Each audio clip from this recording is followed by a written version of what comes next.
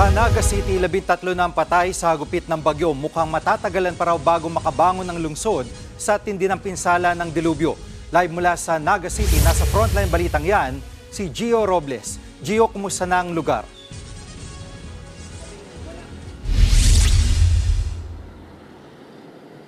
Jiggy, halos walong daang barangay sa Kabikulan ang lubog pa rin sa baha ayon sa Office of Civil Defense Bicol. Nangangamba tuloy ang maraming oragon lalo na dito sa Naga na tama ka sa sinabi mo Jiggy na baka kasi matagalan pa bago sila makabangon sa dilubyo. Halos walang naisalbang gamit si Nanay Marites nang anuri ng lampas tao na baha ang kanilang bahay sa Barangay Concepcion Pequeña. Sa Naga City Hall muna sila namamalagi kasama ang ilan pang nasa lantari ng bagyo. Kabilang din dyan si Joel na aminadong na trauma sa biglang pagtaas ng baha noong Martes ng gabi. Dahil baha pa rin ang maraming lugar dito, posibleng matagalan pa raw bago sila makabangon. Mga buwan siguro. Ay, matatagalan po. Yun po ang totoo. Ayon kay Naga Mayor Nelson Legasyon, posibleng abutin pa ng isang buwan bago tuluyang humupa ang baha sa lungsod. Pitong barangay pa raw ang lubog pa rin sa tubig. dahil po sa extent ng, ah, ng damages na naranasan po ng ah, bawat ah, isa, ito siguro yung medyo matatagalan ng konti.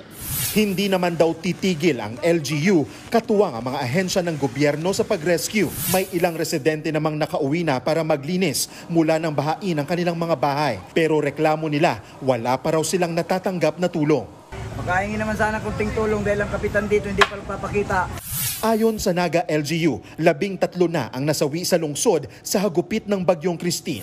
Kinumpirma naman sa News 5 ni Bicol Police Chief Brigadier General Andre Dizon ang pagkasawi ng ilang bata sa Naga matapos malunod.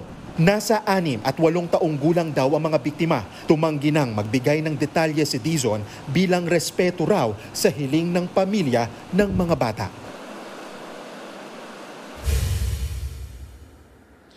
Gio, Jiggy, nakarating na raw dito sa Naga City ang 30,000 family food packs mula sa DSWD. Giniit ng ahensya o siniguro ng ahensya na magtutuloy-tuloy ang pamamahagi nila ng ayuda hindi lang dito sa Naga kundi sa buong Kabikulan para nga ay matulungan ang mga oragon na makabangon. Jiggy, balik sa iyo. Maraming salamat, Gio Robles.